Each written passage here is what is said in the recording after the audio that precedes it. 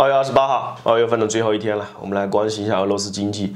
两天前，美国跟欧盟啊，呃，联合一些其他的西方经济体，把俄罗斯从支付系统给踢出去了。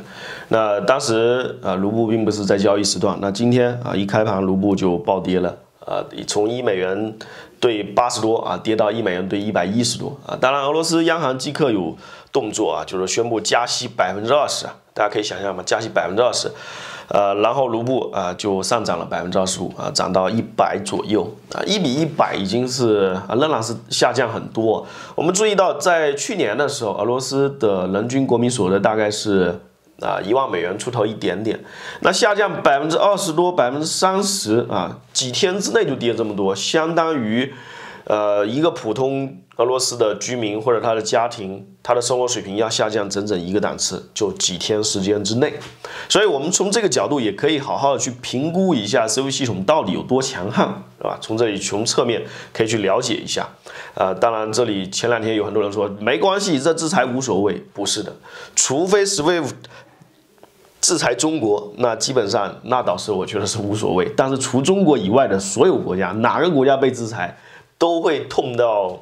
啊，打寒战啊，就是痛到不行，呃，半死不活的这种状态。俄罗斯自己本身经济就不太好，对吧？我们看一下它被制裁以来啊，实际上在二零一四年之后啊，就反复被制裁，制裁就一直没有撤销，有时候好一点点，有时候在制裁上面还要再继续加制裁。那这八年来，俄罗斯的经济其实是不断的。啊，往下走，整体是震荡往下的。那有时候会反弹好，略好一点点。卢布跌到这种程度啊，再往下跌的空间就会越来越小，越来越小。因为这里一个问题，你想俄罗斯地大物博，对吧？那现在仍然是以卢布计价的，那并没有说用你美元计价吧？那你突然间让它跌百分之三十，不是说这种石油它的燃烧值？呃，它的燃烧热量就减少了百分之三十，并没有这个道理嘛。我想它只要能够运得出来，我们中国都会要，对吧？我想日本可能也会悄摸摸的也会搞一点去啊。虽然说有美国在后面，所以说，呃，这里就有一个问题，实际上卢布的贬值是有极限的。啊，是就是他被提，因为这里有一个大的问题，就是我们不可能在经济问题上，呃，做事俄罗斯倒下。军事上我们之前说了，就是俄罗斯是大国啊，不需要资源。但是在经济上，我们可没有做这个表态。所以，我们说，卢布贬到这种程度，实际上就已经不太有意义了，就跟美元就算彻底切断了。因为这个时候，西方有资本敢进入俄罗斯进行抄底吗？我想不太有啊，应该是非常少。如果说呃正儿八经的西方资本啊，又是量比较大的情况下，可能会就会被俄罗斯制裁啊。你不是在欧洲没收我资产嘛，在美国没收我资产嘛？那在这种情况下，你还敢来俄罗斯？我想没有哪个西方资本会这么傻。所以这么看起来，俄罗斯跟西方社会的经济应该说已经完全切断了啊。这几天我们已经看到，完全切断，现在就是刚才我们说的，那就是看中俄经济的表演了。那就是会往这个方向上走，而且我觉得在经济这个问题上，我们应该越来越大声的喊出来，是吧？我们不会让俄罗斯经济倒下啊，这是我们说第二遍，我们不会让俄罗斯经济倒下，对吧？我们说第三遍啊，这个重要的问题，对吧？说三遍，因为这里我看到网上有很多各种各样的声音啊，因为现在是战争状态，我是说俄罗斯跟乌克兰，那。呃，各种假消息当然是很多，然后混有很多立场漂移的声音。当然，如果说从中国的立场的利益角度出发，保持跟俄罗斯经济的这种联系，或者说对俄罗斯经济的鼎力支持，这是一个不能动摇的状态。啊，至少眼前是这样子。至少我想今年，呃，在可眼目之所及的时间里面，应该是这个样子的。这里当然除了对俄罗斯支持之外，中美合作四十年的时间，实际上转向中俄的合作，对于中国经济也是有利的。我们前面也提到，中国经济向下兼容的能力是非常强的。只要你的人均国民所得是低于一万美元的，我们都可以协助这些国家快速的完成很多生活水平的这种改善。那我为什么要做这期节目去去这么说呢？反复的说，我们要在经济上比较明面的站出来呢？因为这个 SWIFT 系统到底说啊，对俄罗斯的经济干扰会有多大？不好评估啊，这个因为俄罗斯，我们刚刚前面也提了，它确实应该是做了蛮多的预案啊，做了很多的事情，但是预案归预案，预测归预测，呃，现实情况是怎么样的？所以我们一定要非常密切的关注。而且这里还有一个问题，西方的舆论一直在压俄罗斯啊，特别是军事上面的这些问题。那在经济上，它实际上本身就是一个非常弱的弱项。他还能有什么方法去应对呢？在军事上面最强悍的地方，实际上很多装备水平，呃，战争技巧其实已经感觉上不如西方，特别是美国。所以我觉得在经济问题上应该更加全面而彻底的，呃，就连声音上啊都应该要有支持俄罗斯的声音，否则的话，呃，我是有点担心啊，有点担心。好，那这俄罗斯的我们就到这个片段，我们说一下这个要，呃，对他的经济要不能让他觉得特别孤独。啊，这这个时候呢，显得就是朋友比较重要。但是因为军事上的话不好说，对吧？我们不好做出怎么样的应对表态，至少目前这个阶段。那么我们只能做做我们该做的这个事情。然后第二部分，我们说一下这个呃东北啊，东北的这个情况，我们说有没有可能一鸣惊人啊？实际上我们刚才提到的美元跟卢布啊。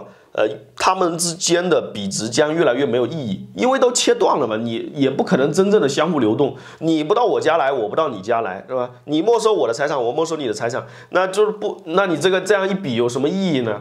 没有意义了，对吧？黑市后面慢慢比没意义，但是俄罗斯要生存，它要国际上要交互商品，那么重要的通道就通过中国。我们刚才一直说，通过人民币，通过甚至通过我们的声音，对吧？这也是支持啊，这是支持啊，但是。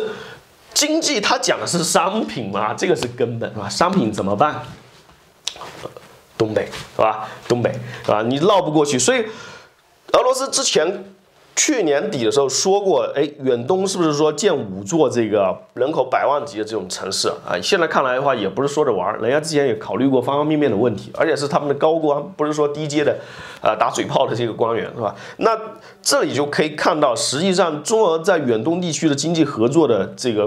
是呃可以呃可以把蛋糕做得很大的，就像我们刚才说，我们说向下兼容，收入不如我们的向下兼容能力很强。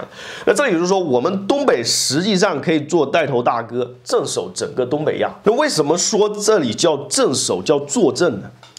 我们知道，原来我们深圳啊这里画一个圈的意义是什么啊？很多意义，其中一个是让你们西方资本主义世界看一下，让你们香港的市民看一下。是不是？我们深圳也可以做建得很漂亮，我们也可以有很好的生活，是这样吧？那我们在这里，如果东北这里拔地而起，那大家生活都过得很好。俄罗斯人这时候中俄一起共建，俄罗斯那边也有很多地方，远东的地方都非常的不错。那这样的话，就是中俄有个在经济上有个轮这个联动的这么一个情况。那日本跟韩国这个东亚的。我们长期的邻居啊，我们迟早要把他们吸引到我们的这种框架体系来，不可能让他们持久的，呃，五十年、一百年以后都仍然跟着西方走。那要怎么办？你要表示你过得比别人好吗？你不能说我我农村，我跟你血浓于水，我跟你长得比较像，我跟你呃长得比跟你跟西方人像，你就这样，你跟别人怎么搭理你呢？是不是？你就要跟他说我过得不错，而且我成长还很快。是吧？那这就叫本事，而且对于全球人民来说也有释放意义哦。中俄合作啊，你看他们那个新区域发展的很好。你看俄罗斯经济啊，慢慢的就回血啊，这个啊跟中国过啊，这个有好生活，对吧？那这个呃国际上有很，我们向下兼容能力就更强了吗？那我们这里顺带再提几句中国经济啊。我们去年六七月份啊说房价的问题的时候，我就提到长株三角其实是见顶的。我最近大半年时不时就要提一下长株三角，实际上发育是见顶，我就要说这个问题。那未来的时间，长株三角当然还可以在家里踩缝纫机，是吧？在家里做做工厂，呃，但是经济重心啊，我们说还是在这里，这点都没错。但是我们讲真正的发展的这种啊增量上面，一定是要看国际形势的变化，一定是要看内循环的发展情况，而不是说原来的这种中美合作的情况。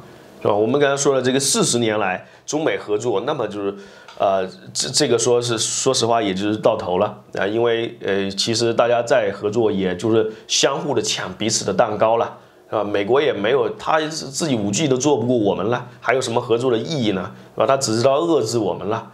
但是中俄不一样啊，这里是一个全新的蛋糕模式啊，是吧？表现出中国向下兼容的能力啊，是吧？表现出中国经济超强的活力啊，表现出。呃，中国经济再造循环的能力啊，对吧？东北老工业基地原来表现不行，俄罗斯的远东地区不行，但是中俄一合作，这里飞黄腾达了呀，是不是？爆炸式的发展啊！我觉得这个啊，当然这个只是我个人的这个猜测啊，我这个思想上有泡沫是吧？那这是我个人的猜测。但是好，那回到我们这个刚开始说的俄罗斯经济方向上，我们还是要再强调啊，第四遍、第五遍好多遍，就是俄罗斯在军事上面我们不好下场啊，因为各种原因，因为各种各各种各样的原因啊。但是在经济问题上面啊，甚至我们说在经济的舆论上面，我们都要去呃去更多的支持一下俄罗斯啊，我们不能看到它倒下。我这里特别为什么要说一下，连声音上我们都要直直接说出来呢？因为大家发现没有，时局变化很快呀。你要是不反应的话，你说悄摸摸做来不及呀。你想一下，那俄罗斯两天前被制裁，今天卢布就跌了百分之三十。你说悄摸摸慢慢搞，那俄罗斯它经济耗不耗得起这么长时间啊？所以说，在这么关关键转折的节骨眼上，在俄罗斯经济面临重大冲击的。在这种情况下面，我们是力所能及的，至少我能说，是吧？我我做节目，我我能做的，我能说出来。好了，那这是希望，呃，对呃整个呃全新的国际环境有帮助，因为我们觉得最远期的国际环境肯定还是中美竞争，而且是中美的科技竞赛，啊，这个是可能是长达几十年的科技竞赛。好，那我们这个片段就跟大家聊到这里，待会儿我们说一下这个呃从整个。呃，战略格局跟战争情况，说一下这个乌俄局势怎么样？好，喜欢朋友可以关注我，感谢大家收看。